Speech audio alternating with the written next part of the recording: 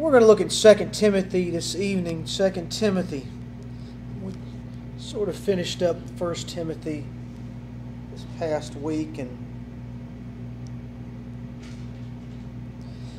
it's been 4 years. It's been 4 years or so since 1st to 2nd Timothy letter and it's been 4 years or so and since Timothy has been pastoring the church at Ephesus. He's been faithful in doing it. He's been strong in doing it. He's been a faithful companion of, of Paul. And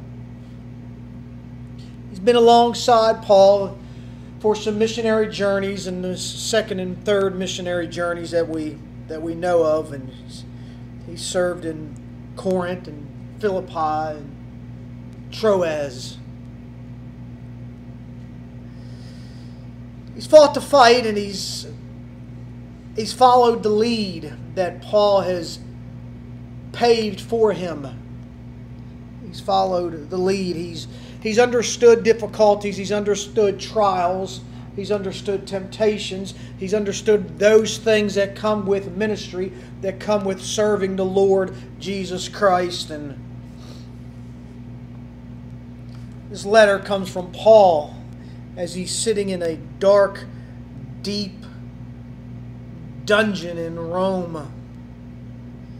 He's just before his death in AD 68 or so, somewhere around there, from how we can do the timeline. He's just before his death, and Paul pens another letter to, to his young protege, his young student, if you will, Timothy. Paul knew, if, if you read, as we read through 2 Timothy, you'll see little hints, and especially one in, in 4 6, where he talks about, I basically, there's no hope for my deliverance. I know my death is near.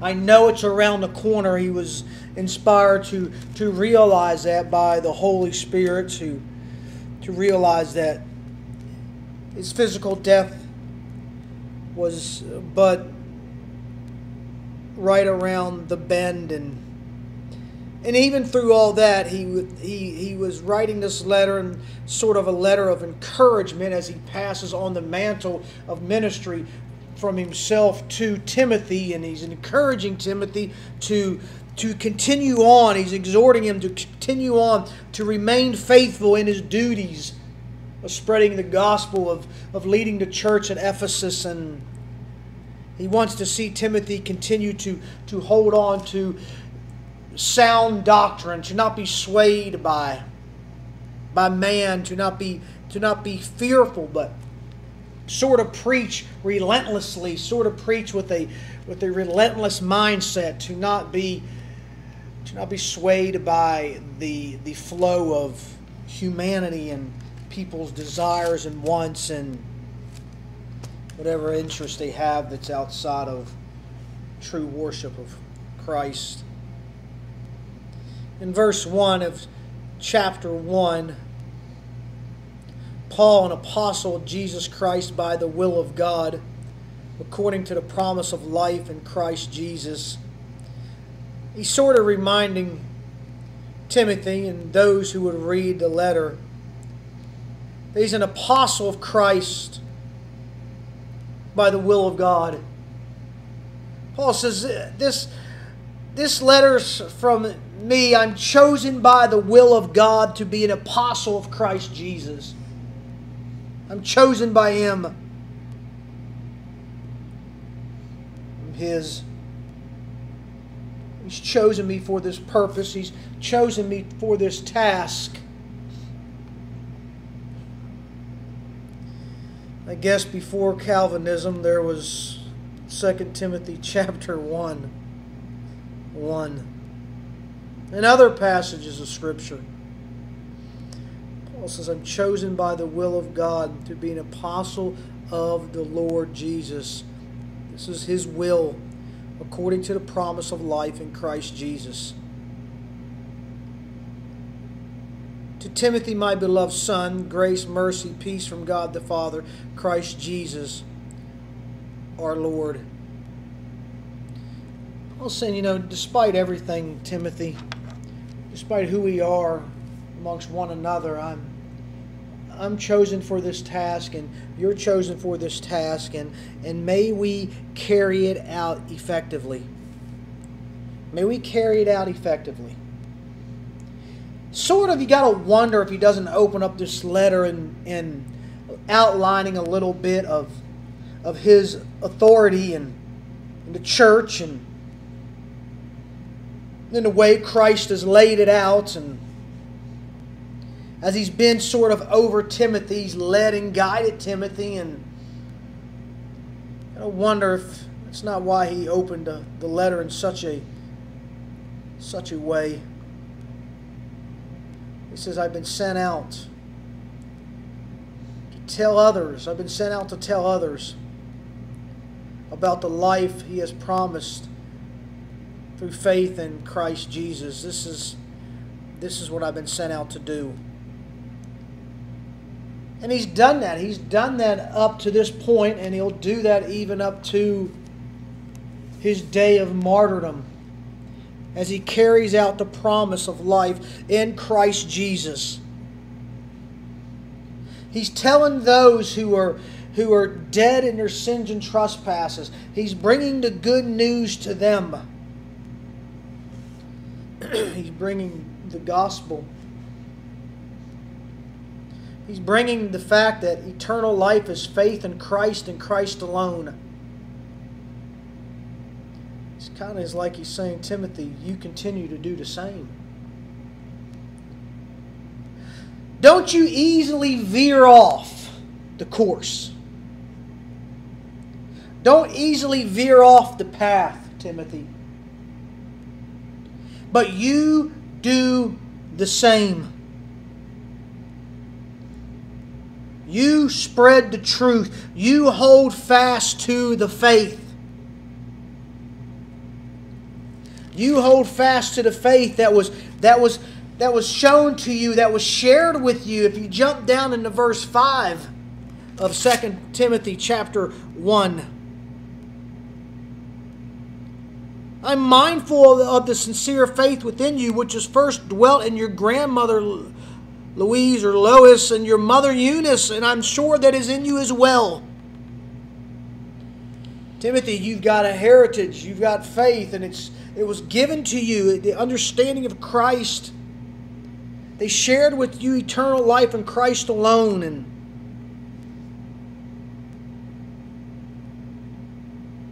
you Take what you know. Take what you've been taught. Take what has been shared with you from your grandmother and your mother, shared with you from me. Take it. Like I said before, Timothy's just he's already been on the second and third missionary journey with with Paul. So he's seen so much, he's learned so much, he's been taught so much said in the past, he sat at the feet of a, of a great teacher, a great human leader. You know, right there in verse 3, where he says, I serve with a clear conscience the way my forefathers did. He's making it clear, I'm not bringing you a new message. It's the yeah. same old gospel, like you've been talking about Hebrews. It's the same gospel that saved Abraham, Isaac, and Jacob, the same gospel that saved Moses, the same gospel that saved David. I serve with a clear conscience the way my forefathers did. Not, this isn't a new message. There's more information in the message now. We, there's more fruition there. We know the Christ. We're looking back at it. But it's the same way of salvation servant, clear conscience, the way his forefathers did. Yeah. And then, like you just brought up, Lois and Eunice, you have your faith because of your mother and your grandmother, God using that providentially. I believe because of Abraham, Isaac, and Jacob, providentially. Yeah. Like you said, I believe because of Abraham, Isaac, and Jacob, then you believe because of your mother and your grandmother, and you're exactly right. And it's it's the same gospel you're so you're so right. It's the same truth. It's the same Redeemer. There's nothing different. Nothing different to it. Just know a little bit more on this side of it. It says in verse 2 My beloved son, to Timothy, my beloved son, such a care for Timothy that he had. He had a strong bond with him. He had a strong spiritual bond. That he that he look I mean it's very few times do you really meet somebody that that that looks at somebody else that's not blood, if you will, physical blood, and looks at them as a son or a daughter. That only happens when there's a strong bond. That's there's been a bit of a bond that's been nurtured, that's been that's been cultivated, and my to Timothy, my beloved son, my son in the faith is what he's saying. May grace, mercy, and peace from God the Father and Christ Jesus our Lord. My son in the faith. You're my son in the faith. I, I took you under my wing. I taught you. Acts chapter 16. You know, Timothy cir- was circumcised by Paul. Yeah. We, we learn about Timothy. His dad was a Gentile. His mom was a Jew.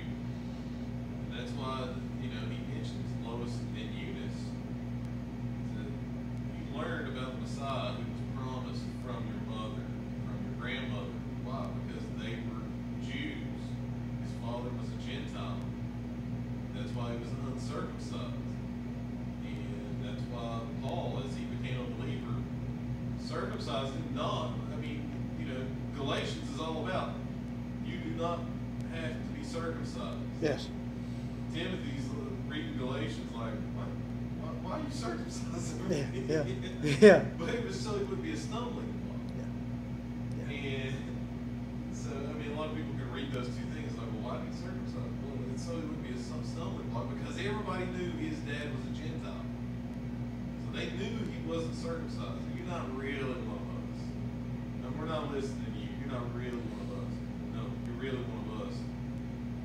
Because Paul is your father in the faith.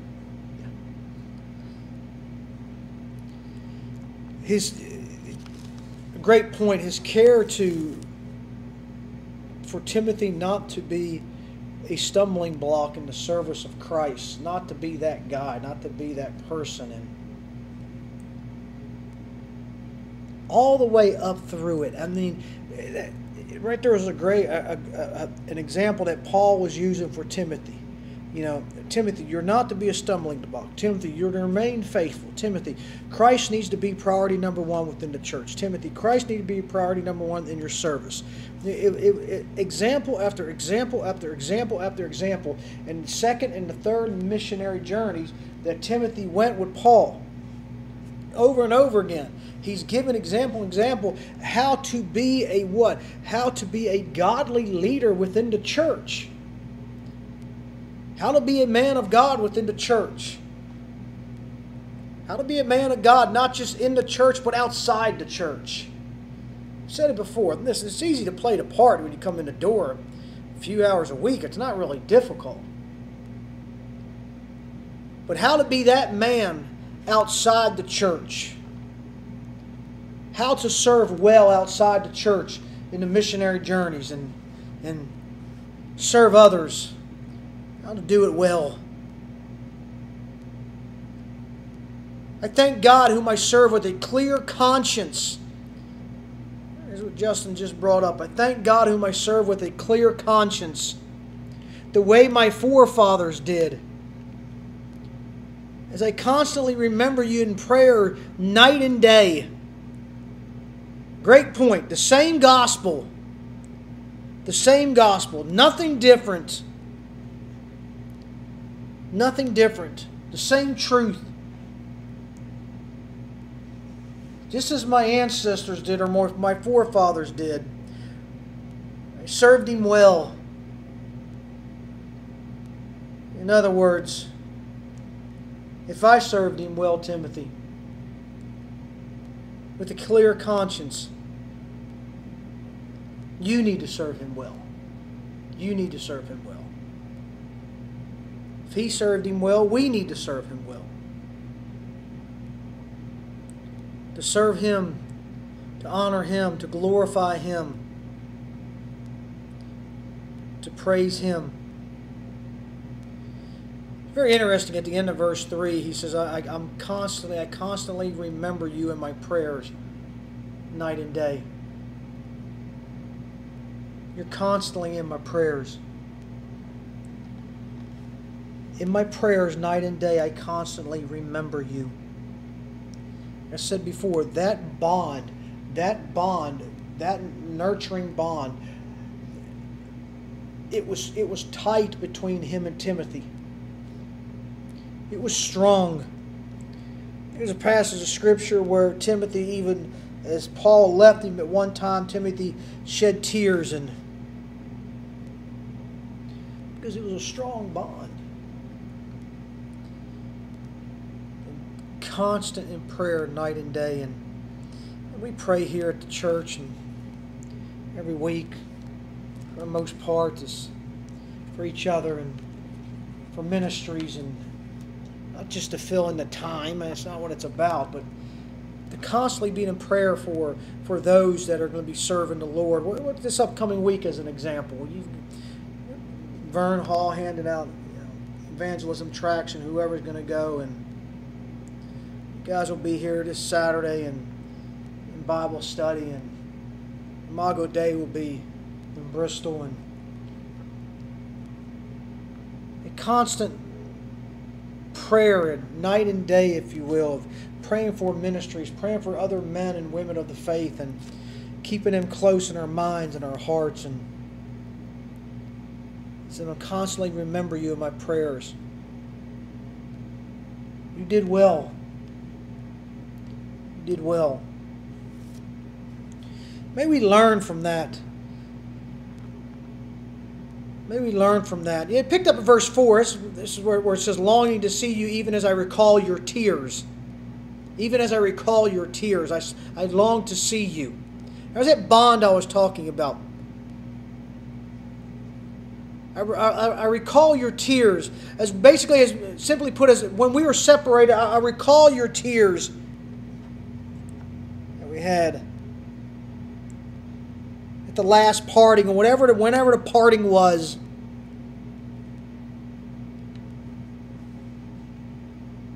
Sort of an intense desire to to be back in the presence of with with Timothy. As I said before, you know, it's it's it's it, it's rare to have this type of relationship, but it, it was there between these two men one going and one coming into the ministry. It's a beautiful picture. It's a beautiful picture of how we should be in our own lives. And we should be mentoring and ministering to those, you know, coming in the faith or those young in the faith and, and bringing them along. And that, you just, that's, just don't see that much anymore. It's lacking within the church as a whole. It just, think there's really no good answer to it, but again, true worship is lacking. Longing to see you, even as I recall your tears, so that I may be filled with joy. Remember, this is a letter as he's in the Rome prison. He's in a dark dungeon. And he's giving this letter out He's the one writing the letter of care and, and hope and mercy and grace and longing to see. He's the one in prison. You would think it'd be the other way around.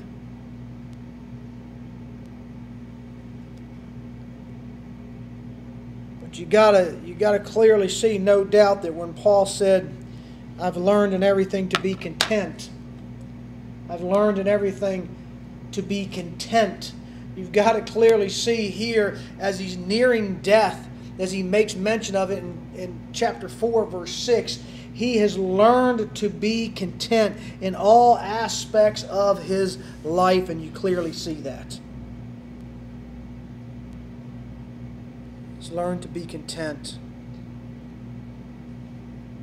as he's writing this letter to Timothy. Where's the care? Where's the care going? The care is going to Timothy, yes, but it's going to the church. It's going for the service of Christ. It's going to Ephesus. He wants to see that the church remains strong. He wants to see that Timothy remains strong. He wants to see that he remains strong and faithful to the gospel, to Christ, to the good news, to the Redeemer of the world.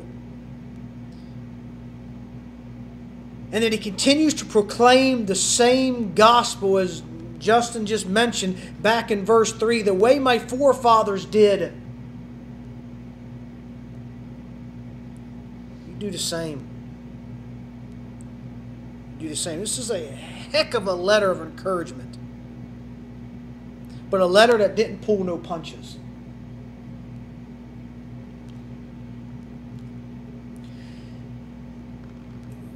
It seems like today, when you try to give encouragement, and it comes across sometimes a little tough, and people just kind of collapse in, especially when it's dealing with the church. They just cave in like a like a deck of cards, and know as you read some of this letter here in Second Timothy even in First Timothy, there was times when, when Paul would, would tighten the grip up a little bit in his young protege. But he did that for what? For the better of Timothy. See, a lot of times we look at it, not we, but a lot of people look at when somebody tightens the grip up on spiritual spiritual leading of the person and the person takes offense to it, but it's for their best. Longing to see you even as I recall your tears, so that I may be filled with joy. Paul says, My joy will become again. I, am I'm, I'm joyful where I'm at, but oh, I, the, the, joy I'll feel, the joy I'll, I will feel when I'm back in the presence of you, Timothy, when I see you again, if that's the Lord's will, when I'm face to face with you again, there will be joy there. They'll be coming together, worshiping together coming together with other believers is no matter if it's one or 21 or 101 coming together with other believers is a is, is, is a joyful task. Not a task is, is, a joyful time. A joyful presence. A thrill. To come together with another believer to, to meet another believer for the first time it's a joy to hear his or her testimony and to talk to them about how Christ has worked in their lives. And, and you just meet them for the first time. And it's always a joy. He says, I long to be with you. Simply put, if this is the Lord's will, I'll be filled with joy if I am. I can see you again. And he says this, this was said just a little bit ago. I'm mindful of the sincere faith within you, which first dwelt in your grandmother Louise and your mother Eunice. I'm sure that is in you as well. Of course, he's sure. He was on with him on a second and third missionary journey. He's seen the example, he's seen the effectiveness of of sharing the gospel, of raising somebody up in the fear and admonition and understanding of who Christ is by his grandmother and his mother. He's seen how effective that was. Nothing new under the sun. I'm sure there was days when his grandmother and mother would speak truth and Timothy would be like, ah, here we go again. Here they go again. Talking about Jesus again. Here goes mom with one of her talks. Here goes my grandmother with one of her talks. Gentry could probably relate. Here goes my dad with one of his talks. But it's the effectiveness of the of what? Of instilling, installing in, in them, in that young mind at that age, many years prior to this, that Christ is the Redeemer and all that. It, it, all that, man, did it just come out in young Timothy's life? As in the as in the directing hand of the Lord God, He brings him into the path of the Apostle Paul, and we see what happens after that. The effective ministry. I mean, Paul, you know, you know, Paul had him for, for several years, but my goodness, he was he was had by his grandmother and mother a whole lot longer. They pretty much poured the footings and laid the foundation, and Paul come along and built upon it.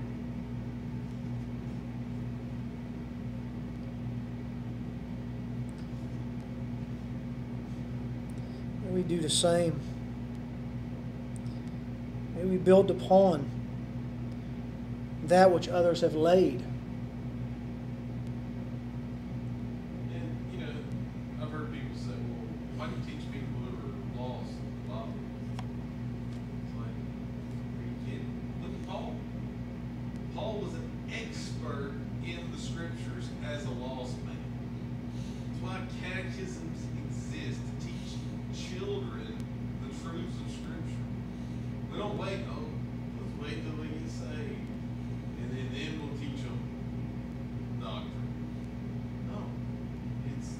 Exactly right. The Lord uses to say. The Holy Spirit applies His Word. You know, the, the gospel is the power of God unto salvation. Yeah. Yeah, you're you're you're so right. I mean, your your child at five or six years old. 99% of the time is is not going to know the gospel is not going to probably not a believer in but you still give that child the truth you still raise that child up in the truth. In reciting verses or catechisms or whatever it may be, Bible stories, you're raising that child up. The truth of who Christ is. And said, you, you, you're laying the foundation. And, and his mother and his grandmother did such a fantastic job in doing that. Obviously, they did. Paul makes mention of it.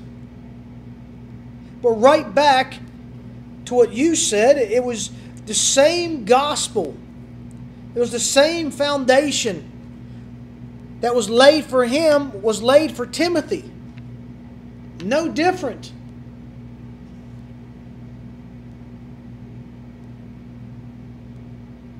Sure that is in you well. I'm mindful of the sincere faith within you which first dwelt in your grandmother Louise and your mother Eunice, and I'm sure that is in you as well, he says. Paul basically says, I, I, I see the faith. I see the faith that lies within you. I see the faith that lies within you.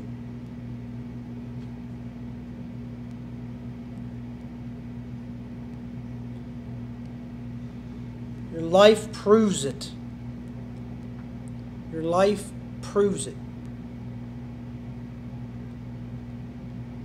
I was listening to uh, the Wretched coming down the road tonight, and and was Witness Wednesday, and it wasn't at a speed of whatever speed you listen to the stuff, okay? But Witness Wednesday, and Todd Friel was there speaking to a young lady at Georgia Tech, and she said she was a Christian. She pretty much sounded like she was, and everything she had to say. And but